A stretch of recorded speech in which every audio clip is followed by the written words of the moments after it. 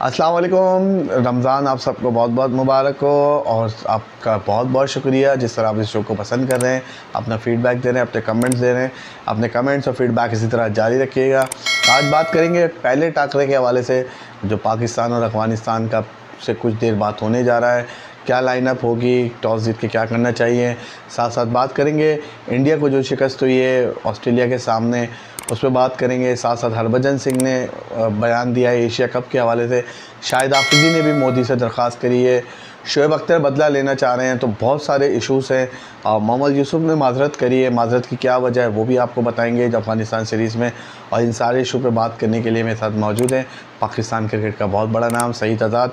सईद भाई बहुत बहुत शुक्रिया आपके वक्त का। क्या कहेंगे पाकिस्तान अफ़गानिस्तान का पहला टकरा? किसका पलरा भारी है? लास्ट टाइम हमने देखा है, अफ़गानिस्तान ने हमें बहुत टफ टाइम दिया है।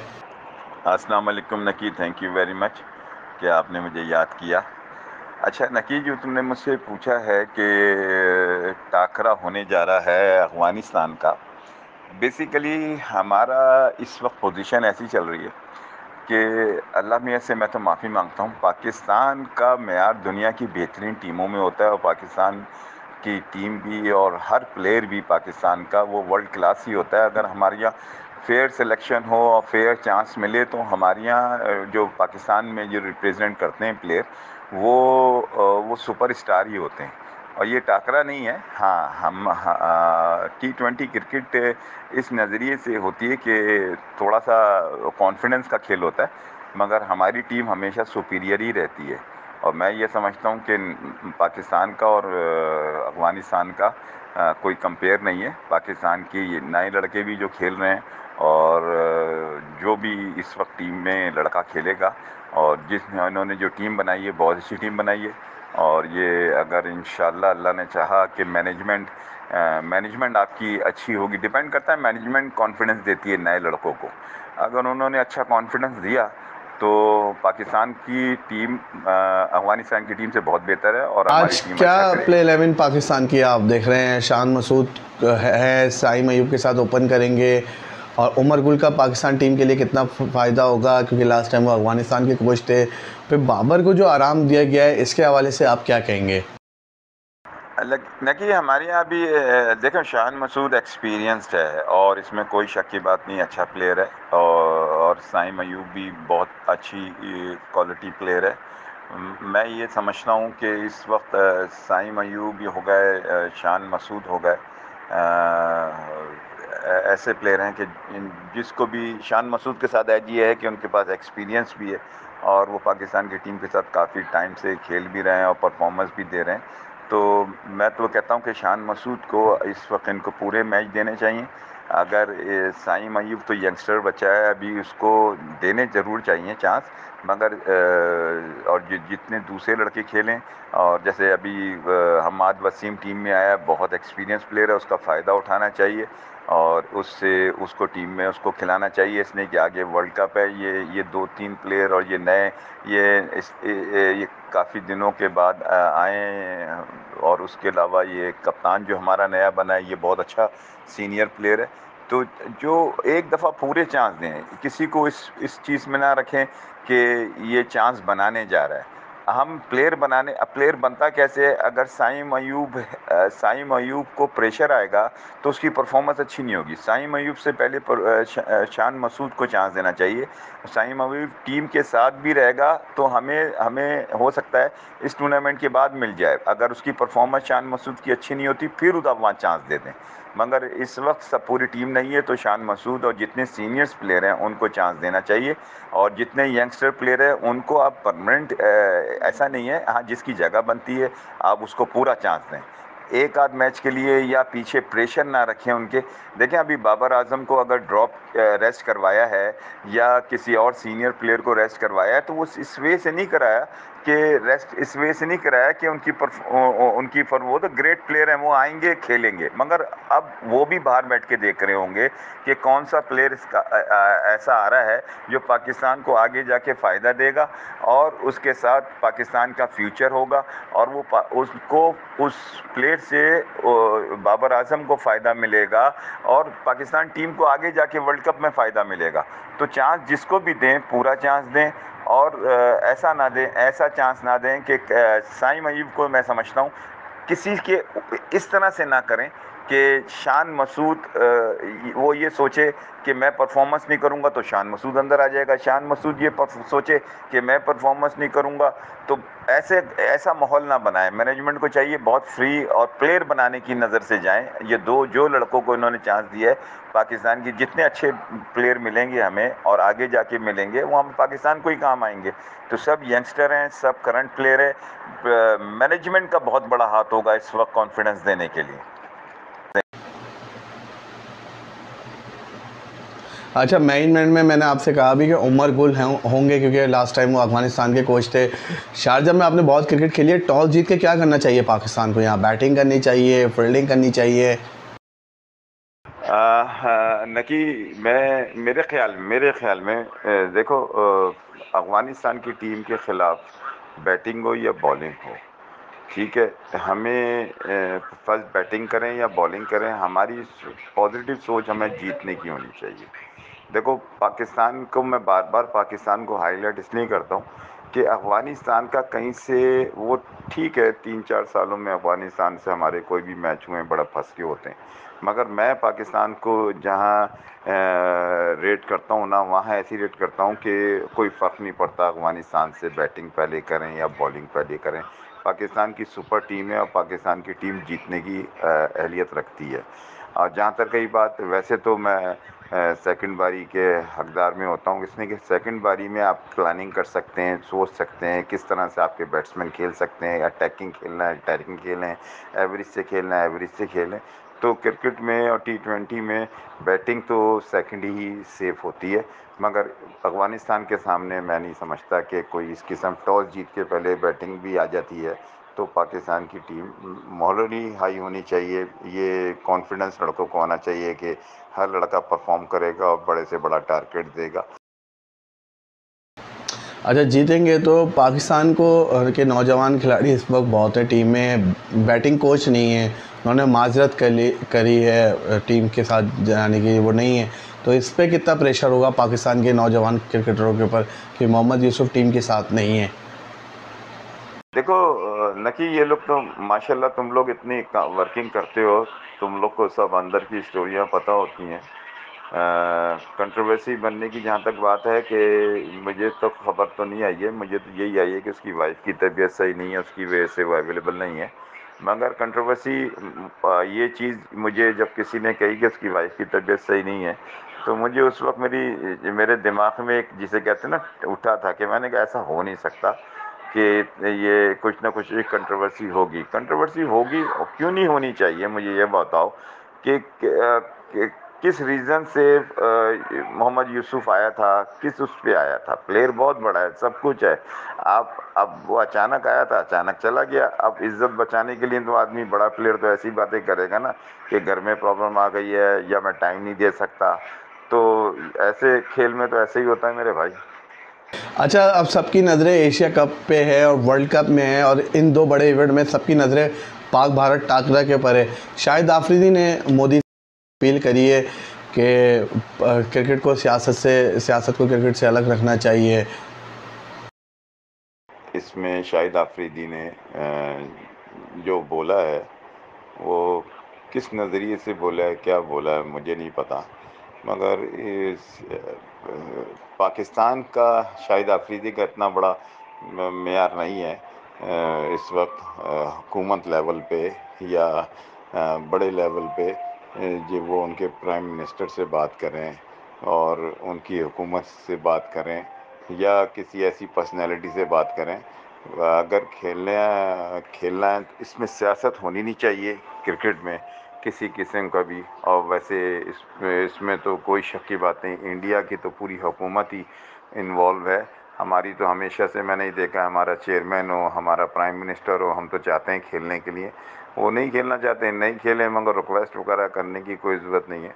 और क्रिकेट में या स्पोर्ट्स में इतनी नेगेटिव थॉट्स नहीं होने चाहिए कि आपस के प्राइम मिनिस्टर इन्वॉल्व हो या हुकूमतें इन्वॉल्व हों। तो बहरहाल के खेलना चाहिए और ये गेम ऐसा है, खेलेंगे तो मोहब्बत, प्यार बढ़ेगा, दोनों के मुल्क के हालात अच्छे होंगे। और शाहिद अफरीदी ने बोला है तो उनका बहुत बहुत शुक्रिया कि उन्होंने अपने बोला तो। नहीं तो कोई और क्रिकेटर मगर मैं तो नहीं समझता शाहिद अफरीदी की इतनी बात कोई सुनी जाएगी कि वो कहेंगे कि शाहिद अफरीदी ने बोला है। हाँ इसकी जगह वो चलें प्राइम मिनिस्टर हो गए, मैं इमरान खान बोलते या ज़हीर अब्बास बोलते या कोई और बड़े प्लेयर बोलते। जिन्होंने वाकई पाकिस्तान का दुनिया में नाम हुआ है वो ऐसी पर्सनैलिटी बोलते तो मैं समझता हूँ शायद सुनते भी उनकी बात। लेकिन हरभजन भी दूसरी तरफ़ बयान दे रहे हैं मशरा दे रहे हैं भारतीय क्रिकेट बोर्ड को कि एशिया कप के लिए पाकिस्तान नहीं जाना चाहिए भारत को। फिर भारत का भी प्लान यही लग रहा है कि वो यूएई में खेलना चाह रहा है अपने जितने भी मैचेस हैं एशिया कप के। तो आपको लग रहा है कि देखें हरभजन सिंह हो या कोई और प्लेयर हो। सोशल मीडिया इतना ऊपर चला गया है कि हर आदमी ये सोचता है कि किसी तरह मैं इसमें इन रहूँ और उसमें जैसे हमारे सियासतदान होते हैं, जैसे क्रिकेटर्स होते हैं, अब ये भी जिनकी क्रिकेट ख़त्म हो जाती है, वो कोई ना कोई ऐसी बात कर देते हैं। अब इस हरभजन सिंह ने जो की है, वो अपनी गवर्नमेंट को खुश करने के लिए की है। नहीं तो कोई इसमें तो वो है नहीं, उनकी जो गवर्नमेंट करना चाह रही है, वो उसके चक्कर में होगा कि किसी तरह इंडिया की जो गवर्नमेंट है, वो मेरे पे हाथ रखे, मैं उनकी बात बोल रहा हूँ। इसी तरह हर आदमी सोशल मीडिया ने हर प्लेयर को इतना बड़े, ये बातें हरभजन सिंह जो बात कर रहा है तो वो, मैं ये समझता हूँ, मेरे अपने नज़रिया है कि ये तो नेगेटिव है। उसको तो ये बात ही नहीं करनी चाहिए थी। और क्रिकेट होना चाहिए होना चाहिए और जो उनकी हुकूमत चाहती है, जो उनकी गवर्नमेंट चाहती है, वही बात कर रहा है। तो इसका मतलब कि उसने इन्वॉल्व इन्वॉल्व होना होगा, कोई सीट वीट चाहिए होगी और है तो बड़ा प्लेयर इंडिया का। तो जितने भी बड़े, हमारे भी जितने भी बड़े प्लेयर हैं, आप उठा के देखें, अब उनके पास लाइव क्रिकेट की तो रह नहीं।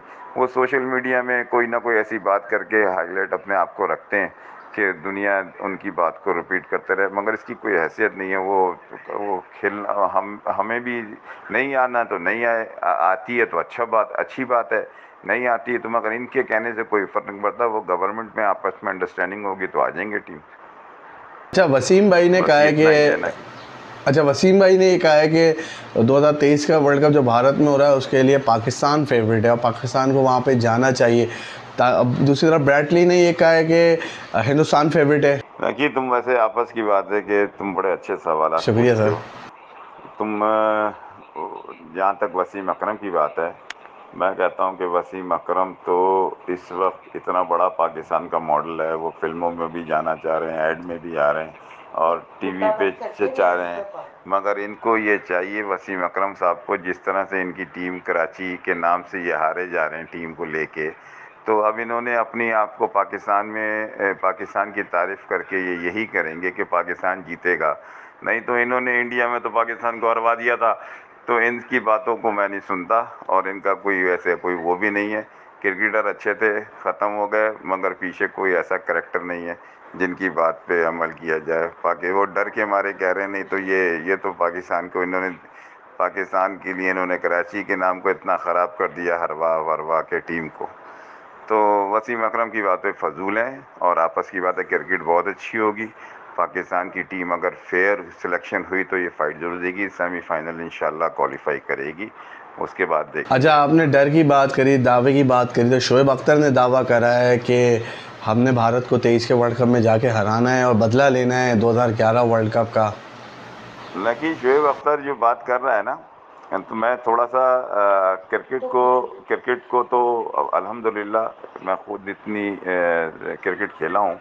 तो मुझे पता है कि क्रिकेट का एक क्या मैार होता है।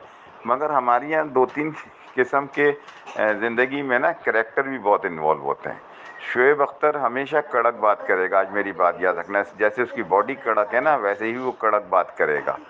और दूसरी चीज़ ये है कि ये सोशल मीडिया ये शुएब अख्तर अल्लाह ने उसको इज़्ज़त इतनी दी है मगर आप उठा के देखें वो कोई भी कभी भी आ, हट के बात नहीं करता वो ऐसे ही बात करता है जैसे फ़ाइट होने वाली है। तो एक करेक्टर डेवलप कर लिया शुएब अख्तर ने अपना। इसी तरह हर आदमी ने ना सीनियर्स प्लेयर ने करेक्टर डेवलप कर लिया उसी हिसाब से बात करते हैं वो। आ, कोई ये, ये जिस तरह से उसने बात की है ये तो आप देखें उठा के जैसे एग्रेसिव मोड में है। और ये फास्ट बॉलर था, कर सकता है कि पाकिस्तान बदला लेगा या पेट में छुरियाँ मार देगा या पाकिस्तान गोलियाँ मार देगा, ये इसी किस्म की बात करेगा। मगर बदला बदला नहीं लेना चाहिए पाकिस्तान को इस नज़र से नहीं जाना चाहिए। अच्छा खेले अच्छी परफॉर्मेंस दे पाकिस्तान की, इसमें भी वर्ल्ड कप है, कोई छोटा मोटी क्रिकेट नहीं है। मगर बदला बदला लेने नहीं जाएगा, खेलने जाएगा और अच्छे इन पाकिस्तान अच्छी परफॉर्मेंस देगा। अच्छा रमीज़ भाई ने बात करी थी ऑस्ट्रेलिया सीरीज़ से पहले कि भारत को भारत में हराना मुश्किल होगा, नामुमकिन होगा, लेकिन ऑस्ट्रेलिया ने भारत को शिकस्त दी है। भारत के लिए कितना होगा कि मिशन वर्ल्ड कप का आगाज़ ही इस सीरीज़ से था? देखें ऑस्ट्रेलिया हो गई, इंग्लैंड हो गई, ऑस्ट्रेलिया, इंग्लैंड और बहुत सारी पाकिस्तान की भी टीम पाकिस्तान की भी टीम इंडिया को मार के आई थी इमरान खान के दौर में। उसके बाद भी इन्होंने पाकिस्तान ने बड़ा टफ टाइम दिया। ऐसा नहीं है कोई इंडिया में है। इंडिया में हाँ पाकिस्तान का और इंडिया का मैच का एक, एक अलग टेंपो होता है। आ, पाकिस्तान की टीम अगर सब लड़के फिट हों और सब मेरिट पे जिसे कहते हैं, और अपने परफॉर्मेंस पे लड़के गए हों लाइकिंग डिसलाइकिंग टीम नहीं बनी हो, पाकिस्तान की टीम भी मार सकती है इंडिया में। इंडिया को कोई, अब पहले हमने मारा है पाकिस्तान की टीम ने इंडिया को। और जहाँ तक रही बात यह है कि ऑस्ट्रेलिया ऑस्ट्रेलिया देखें पाकिस्तान ऑस्ट्रेलिया मेरे ख्याल में दुनिया की हर साल हर हर हर दफ़ा बेस्ट टीम रही है। और इंडिया हम लोग ज़्यादा इंडिया को सर पे चढ़ा लेते हैं, सोचते हैं कि इंडिया इंडिया जो इंडिया का लगा हुआ है। नहीं तो अगर एक अच्छी टीम बन के जाए, और इसमें कि उनका एक एक सिस्टम इंडिया का बहुत अच्छा है। वो अच्छे लड़के, उनके लड़के तीन चार लड़के उनके वर्ल्ड क्लास होते हैं। जिस एक ज़माने में हमारे भी तीन चार पाँच लड़के वर्ल्ड क्लास होते थे, जो रैंकिंग में होते थे तो इंडिया की टीम कुछ भी नहीं थी। तो हमारी टीम अब यंगस्टरों पे होती है, लाइकिंग पे होती है। कभी कोच मेरिट पे नहीं होता, कभी कप्तान मेरिट पे नहीं होता, कभी दो तीन लाइकिंग पे प्लेयर गए होते हैं तो फिर तो आप इंडिया को नहीं मार सकते। इंडिया को जब ही मार सकते हैं कि जब आप मेरिट पे टीम लेके जाएँ और तैयार करके और फिर देखें आप इंडिया से, हम इंडिया में ही जीतेंगे इन इनशाला इनशाला और मुझे ये बताइएगा कि इंडिया का तो प्लान तैयार है 2023 वर्ल्ड कप के लिए। राहुल डेविड ने कहा है। लेकिन हमारे तो कोच का ही नहीं पता है। हमारे अभी कप्तान का भी क्लियर नहीं है। कोई कह रहा है कि शाइन को बना दो, कोई कह रहा है बाबर को ही कंटिन्यू करना चाहिए। तो हमारी प्लानिंग में और उनकी प्लानिंग में कितना फ़र्क है? नहीं तुम अब पाकिस्तान का यही तो भाई मसला है, पूरे पाकिस्तान का अभी कोच का भी नहीं पता। अभी देखें, अभी अभी तुमने अपने ही, तुमने ही मुझसे सवाल, तुमने सवाल किया था कि दो अभी आगे जो वर्ल्ड कप आ रहा है, दो हज़ार चौबीस, उसमें उसमें शाहीन आफरीदी कप्तान शाहीन आफरीदी कप्तान होगा या बाबर आज़म होगा? यही तो हमारे यहाँ मसले हैं मेरे भाई। इसी वजह से तो हमारी परफॉर्मेंसें ख़राब होती है। हमारे चेयरमैन का नहीं पता होता, पता नहीं उस वर्ल्ड कप में चेयरमैन हो कि नहीं हो। हमारा कोई सिस्टम ही नहीं है, हमारा कोई हमारी कोई एक पॉलिसी नहीं है। कोई हमारे यहाँ कोई ऐसा जिसे कहते हैं ना कि कभी मोहम्मद यूसुफ आ गए अचानक सकलैन अचानक बाहर हो गए। ऐसे थोड़ी होता है मुल्कों की, जो बड़े मुल्क होते हैं उनकी कोई प्लानिंग होती है फ्यूचर प्लानिंग होती है, उनका डोमेस्टिक स्ट्रक्चर होता है। हमारे यहाँ जो क्रिकेट चल रही है, इस वक्त मैं तो थैंक यू करता हूँ पीएसएल के फ्रेंचाइज ऑनर्स को जो क्रिकेट वो उन्होंने आबाद की हुई है। नहीं तो पाकिस्तान की क्रिकेट तो सिफर हो गई है। कोई चीज़ है ही नहीं है, मगर टैलेंट इतना है पाकिस्तान में, इतना टैलेंट है, मुझे पता है कि पाकिस्तान खेलना आसान नहीं है। और पाकिस्तान हमारे यहाँ जिस तरह से भी कोई भी खेलता है, जिस तरह से भी खेले लाइकिंग में खेले या डिसलाइकिंग लाइकिंग में खेले या फेवरिज्म में खेले प्लेयर इतनी आसानी से पाकिस्तान में सर्वाइव नहीं कर सकता। अब आप मिसाल देख लेना, मैं मिसाल ले, मैं पहले मैच से अब्दुल्ला शफीक की बात कर रहा था कि बहुत बड़ा प्लेयर हुआ है अच्छा है, अचानक आया अच्छा आया। अब है ग्रेट प्लेयर नज़र आ जाता है, एक आध प्लेयर ऐसे ही नज़र आता है ग्रेट प्लेयर अभी ये पिछले दिनों इतने यंगस्टरों को चांस दिया, किसी का हैदर किधर चला गया, फला किधर चला गया, क्या चला गया, ये चीज़ें ख़त्म होनी चाहिए प्लेयर ही हम लोग टैलेंट खुद ख़त्म करते हैं, और कुछ नहीं है, और आपस की बात ये कि आप बिल्कुल सही कर रहे हैं, यही चीज़ें सही होनी चाहिए, अगर ये चीज़ें सही होंगी हमारे यहाँ कोई प्लानिंग के साथ होगा, किसी को टाइम दिया जाए, जो मेरिट पे कोच आएगा, पीछे बैकग्राउंड देखना चाहिए, पूरा सिस्टम से आना चाहिए तो फिर तो पाकिस्तान की टीम कभी परेशान नहीं होगी। सईद भाई बहुत बहुत शुक्रिया आपका, और आगे भी इंशाल्लाह आपसे रब्ता करेंगे। आप लोगों से भी रिक्वेस्ट है कि आज जो हमने डिस्कशन करी है, उस पर ज़रूर अपना फ़ीडबैक अपने कमेंट्स दिएगा ज़रूर बताइएगा ये जो शाहिद आफरीदी ने दरख्वास्त करी है मोदी से इसके हवाले से आप क्या कहेंगे? फिर साथ साथ जो शाहीन को कप्तान बनाने का कहा जा रहा है 2024 वर्ल्ड कप टी के लिए, इस फैसले को आप कैसा देखेंगे? अफ़गानिस्तान सीरीज़ के हवाले से आप क्या देख रहे हैं कि क्या अफ़गानिस्तान पाकिस्तान को टफ टाइम देगी? भारत ने कहाँ गलती करी ऑस्ट्रेलिया की सीरीज़ के हवाले से, ये ज़रूर बताइएगा। हरभजन ने जो बयान दिया है उसके हवाले से भी ज़रूर बताइएगा। और शोएब अख्तर ने कहा है कि जो पाकिस्तान बदला लेगा 2011 वर्ल्ड कप के सेमीफाइनल का तो इन सारे जो आज हमने इशू करें, इस पर ज़रूर अपनी राय दिएगा नेक्स्ट एपिसोड में फिर हाजिर होंगे। अपना ख्याल रखिएगा। अल्लाह हाफिज़।